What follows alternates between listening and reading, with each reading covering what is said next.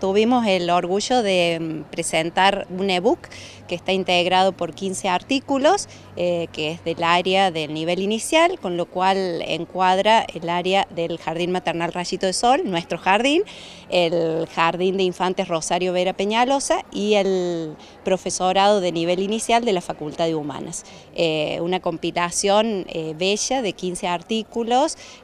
contando vivencias, historias, em, eh, la pandemia reflejada en varios de los artículos, eh, así que bueno, eh, Silvia y yo hemos sido compiladoras y es una grata satisfacción venirlo a presentar en la mañana de hoy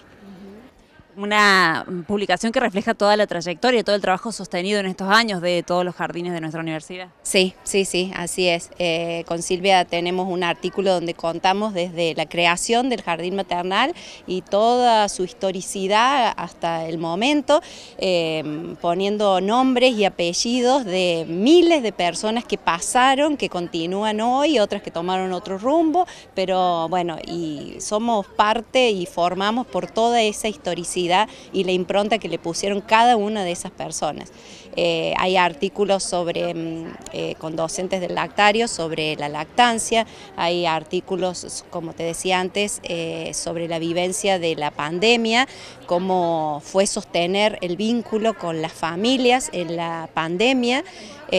una tarea ardua porque cómo pensamos en llegar a los niños tan pequeños a través de pantallas y todo eso, pilar fundamental fue la familia, a través de ellos se llegó. Eh, el Rosario Vera eh, también nos compartió un artículo muy bello sobre toda la historia del Jardín de Infantes, eh, también artículos sobre pandemia y su